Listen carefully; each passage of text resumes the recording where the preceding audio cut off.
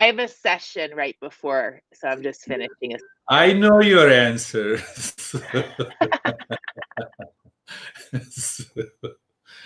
I know your answer. So you see that we are entering into, as I was saying, that entering into a deeper phase of the sadhana or the practice. Sam, Sam has also joined. That is very good. So it's a deeper. The first, now these five sutras has to be understood. Listen to it again and again. Contemplate. Send the email to me if you have any doubt or a query if you do, did not understand. You know, my master used to say that when there is a fire in the woods, in the forest, elephant simply enters into water. They do not take the water from the river to quench the fire in the woods. So his message is clear that every sadhana has one most important element. It is going within. Entering into the water here means the mind must go within. You are hurt, go within. You are in anxiety, go within. First, go within before you react. Just go within. So when there used to be a snowstorm, I spent many weeks in the months with the master in the Himalayas at the height of 12,000 feet. So in those days, oh, there is to be a snowstorm. Come inside the cave. So we used to sit inside the cave. In the front of the cave, we had the fire. Now, because we are undergoing a serious session, so remember ASU. What is ASU? Arizona State University, so that you will remember all the time. So there are three ways the master explains what it means by practice. A means abhyasa, Sanskrit word. S means sadhana, and U means upaya. So when you remember ASU, so you should also recall in your mind huh? Abhyasa, Sadhana, Upaya. Abhyasa, the word Abhyasa is used by Patanjali. Sadhana and the Upaya is very, very common. Even in the Gita, in the different text, we use what? Sadhana. So first understand what exactly is sadhana. Sadhana means intellect understands what is desired and what is not desired. And then we drop what is not desired. Anxiety is desired, duality is desired, stress is desired.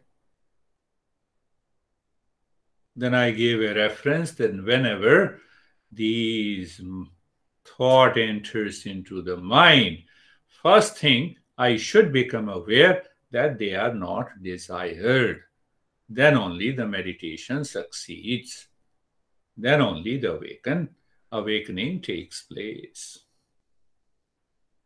But if you start thinking constantly of the anger, of the anxiety, anxiety management, anger management, stress management, we don't use this. We say, let us awaken to the peace, move inside. First, discover the peace inside.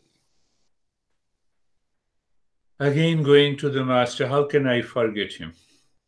Who changed my entire life. So, a student went to the master and asked him to guide meditation. The master realized that this guy seems to be obsessed with anxiety management, anger management. So the mind is always, no, now I'm living in a stress, you know, I am in a hurry and worry. And so he said, There is a tree, go under the tree, sit under the tree, close your eyes, and there is only one condition. What is that condition? There should not be a thought of monkey. You may have any thought of anger, anxiety, duality, conflict, anything. But only one thing. Promise me that you should not have a thought of monkey. So he said, Oh, that's not a big deal. I have never thought of a monkey. not a big deal.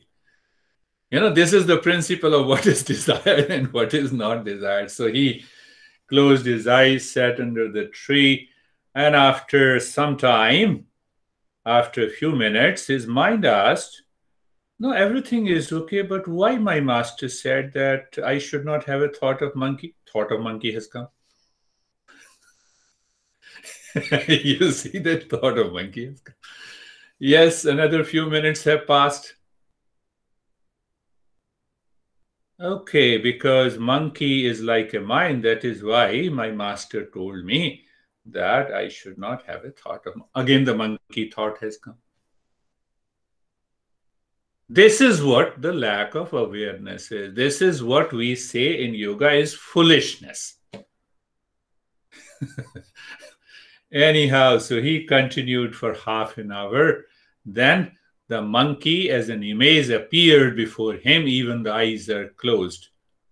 A leaves fell from the tree and his mind thought it is the monkey who moved the, who moved the branches and that's why the leaves fell after an hour when he opened his eyes and approached to the master he did not see the physical image of the master he saw the monkey is there. This is what happens in our day-to-day life. Have you never thought of it? Just just become aware. Say you you had some reaction against me. The entire day your mind is thinking about this beard guy. Have you noticed? Think of it every day every 24 hours. Even when you are lying down on the bed i will teach that guy a lesson. This is too much. I should be aware. When the thoughts are repetitive and these thoughts are taking me nowhere, I must become aware this is not desired in thought, speech, and action. This is the first thing we should do in the practice. Because if I'm not clear in the intellect about what exactly is the practice, then practice will not happen. Second, uh, remember ASU. Sadhana, all the practices includes ASU. So Abhyasa, S means sadhana. We have explained, we have just understood. And the second word we will understood. Second, U means upaya. Upaya literally means Upaya literally means tool, step, practice. You use the car as a tool to reach your home, drive home, back home. You use the smartphone as a tool to make a call, receive a call. So, tool means we have to use it for some time and then we have to leave it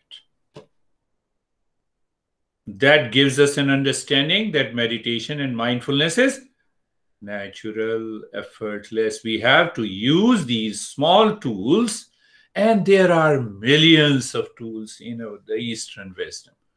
Mantra is a tool, breath is a tool, mudra is a tool, imagination is a tool. So, based on our nature, temperament, we have to use different tool. We are using the same tool, you know, Sarvesham Swastir Bhavatu. So tool, upaya means a device and a tool. We have to use it for some time. But why we have to use? Now understand it. To, to, to enter into meditative state? No. to prepare the mind, to purify the mind, to remove the garbage from the mind, so that we can reflect on meditative state.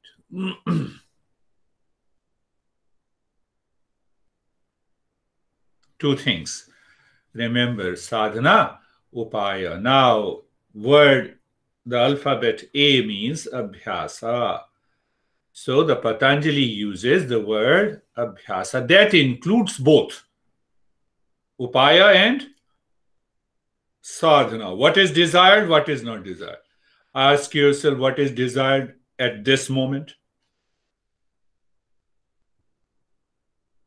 Are you thinking of your agenda that you want to do after the meditation? Is it desired? So we need an extraordinary awareness. So when that is not desired, you drop in the mind, your body will not move. The body will remain aware, calm, attentive. The mind will remain attentive. Coming to abhyasa, literal meaning of the abhyasa is practice. But here, here the master says what is abhyas vairagya abhyam tannirodha abhyasa. So he says, if I translate into English, regular practice with wisdom, with dispassion or wisdom. He says wisdom must be there in any practice. Wisdom is lost, then what we do? I, I gave an example. Beautiful, beautiful women in Princeton. I used to give sessions on meditation. So normally I have written my profile that, you know, I uh, 26 years with my master and 35, 36 years of experience. So she told me, I also have 26 years of experience. I said, I appreciate it. Plus 26 years of experience, plus three surgeries of the spine to settle into meditation. Why to settle into, how to settle into meditation? Because I was doing all the difficult postures, uh, which I say advanced yoga, and that led me to three surgeries of the spine. Is yoga like this? But you cannot teach those people. I also have 26 years of experience. So that is why the wisdom is required. So the very soul of this meaning of this word is explained by Patanjali in the next sutra that I will take up next week. But here, what he says, the practice must be done under the wisdom, under the dispassion. So when there is a dispassion, now what happens? I have been doing all the difficult postures. I'm not against anything. I like, you know, whatever we, we you are doing, very good. Why should I go against you? But he says, now if I'm constantly obsessed with the body, then I am doing all the difficult postures, and that obsession will create a conflict in the mind whether I should leave the body in meditation or I should not leave. I should transcend the body, I should not. What will happen? You will never succeed in meditation. So the word he uses, what the word he uses? He says dispassion. What is dispassion? Dispassion comes by discernment. What is discernment? Discernment makes the intellect clear what is real and what is unreal. So, how the discernment proceeds? By self inquiry, by thinking, by contemplation, by reflection. If you do not think, and your intellect does not accept what is real and what is not real, meditation will not succeed. This is one way to explain the word abhyasa. Abhyasa. So when we go deeper in the next session, so we'll understand what exactly is the soul of this word. Go back three words. Just remember ASU, Abhyasa, Sadhana, and Upaya. Upaya, Sadhana. Be 100% clear what is desired and what is not desired. In my life, in meditation, in day to day life. You know, before the beginning of a session, I think I was explaining never be attached and don't encourage anyone to be attached. Have you seen those events in your day, in your life at some point of time? We become angry, then we cry, then we say sorry, then we hug each other. I'm sorry. I'm very sorry. Have you seen that? It might have happened in everybody's life. there, the sadhana is required. No, I became angry because, you know, I love you. What kind of love this is? You made me upset. Attachment. Sadhana. You will find that your mind becomes so light. The body, you feel the lightness in the body the throughout the day. Totally carefree. So the second thing, you know, I I always sometime I play with the, my not here, but sometime I play silently with the uh, some students. I start appreciating them, and then I give them a shock, and then they start reacting against me but they don't realize that they have not been able to progress into the practice. Into the practice. Sadhana. Understand clearly. Every moment in your life, what is desired, what is not desired. What is desired, what is not desired. Anxiety is desired? No. Reaction is desired? No. Should I encourage attachment? No. Should I move with attachment? No then how can I live my life? There is a better way to live your life. there is a much better way to live your life. Do you see that? Otherwise, the same thing will happen. The monkey, monkey, monkey, monkey.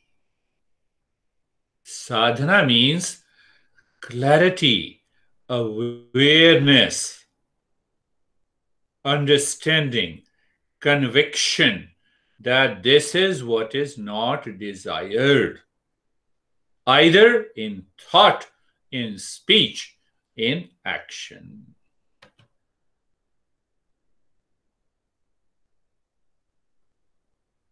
And upaya means we use different tools. Patanjali says, uh, according to the commentator Vyasa, uh, there are six postures the Vyasa has given to succeed in meditation. We don't need more than six postures. And again, the six posture should be reduced to only one or two posture. Now I will give you one, uh, one uh, message from another master. I don't remember the text, but I remember the uh, statement.